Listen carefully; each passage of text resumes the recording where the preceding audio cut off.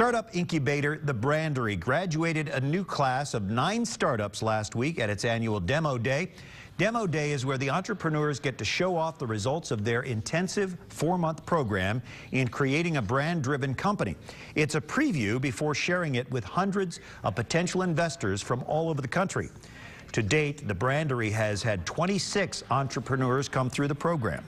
Uh, this was really the first time we had kind of a deep enough stable of entrepreneurs that could support each of the startups going through the program. So each one of the, the 10 companies that came through the program had mentors who went through the program previously. They know what it's like to build a business in Cincinnati. They know what it's like to leverage the Brandery ecosystem. Uh, it was really exciting to see them help each other out and, and, and pull for each other. The Brandery has been able to draw startups from all over the globe and bring them to Over the Rhine. In fact, this year's class included only one startup from Cincinnati. The hope is that some of the companies grown here will actually stay here.